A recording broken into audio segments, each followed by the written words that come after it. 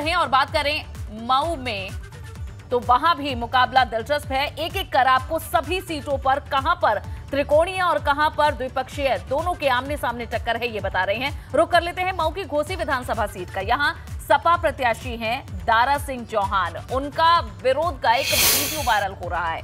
मामला कोपागंज थाना क्षेत्र का है, जहाँ दारा सिंह चौहान के लिए एक रैली का आयोजन किया था। इस दौरान कार्यक्रम में मौजूद लोग कुर्सियाँ फेंकते हुए नज़र आ रहे हैं। आरोप यह है कि वीडियो में लोगों ने बाहरी भगाओ के नारे भी लगाए। हालाँकि आपको ये भी बता दें कि एबीपी गंगा वायरल वीडियो की पुष्टि नहीं करता। ये वीडियो सोशल मीडिया पर वायरल हो रहा है।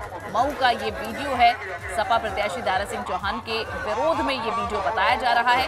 लेकिन एबीपी गंगा इस वीडियो की पुष्टि हरगिज नहीं करता।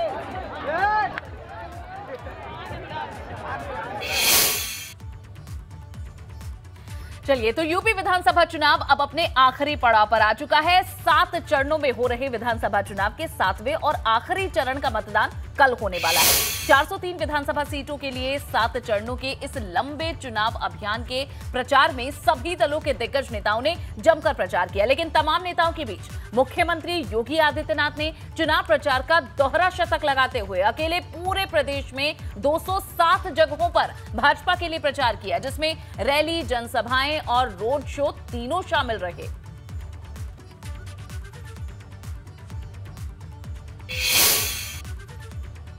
यूपी में बहुमत के लिए जितनी सीटों की ज़रूरत है, उससे ज़्यादा जनसभाएँ अकेले मुख्यमंत्री योगी आदित्यनाथ ने ही चुनाव प्रचार के दौरान कर दी। यानी कह सकते हैं, दोबारा कमल खिलाने के लिए दोहरा शतक। हमारे साथ में इस समय योगी सरकार में मंत्री मोहसिन रजा साहब हैं, उनसे बात करेंगे। सर, आप तो खिलाड़ी भी हैं। और मुख्यमंत्री जी जो हैं, उन्होंने दोहरा शतक लगा दिया अपनी सभाओं का इस बार।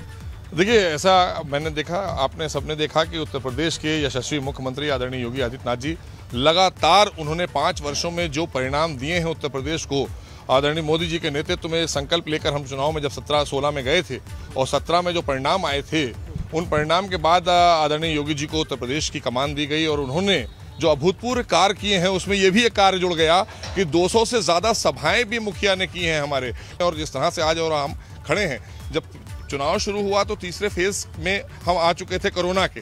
तो कोरोना का जो तीसरी लहर थी, उसको हमने किनारे भी लगाया जीवन भी सुरक्षित हुआ और जीविका भी पटरी पर लाने का काम आदरणीय योगी सरकार में हुआ है। भारतीय जनता पार्टी की सरकार ने अभूतपूर्व कार्य किए हैं। गाँव गरीब किसान संपन्न हुआ है। महिलाएँ सुरक्षित हुई हैं, नौजवानों को रोज़गार मिला है।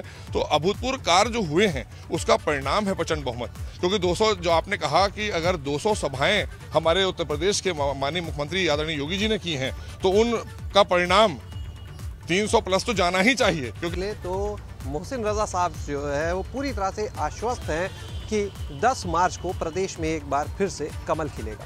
कैमरा सहयोगी वीरेंद्र कोले के साथ शैलेश अरोरा एबीपी गंगा।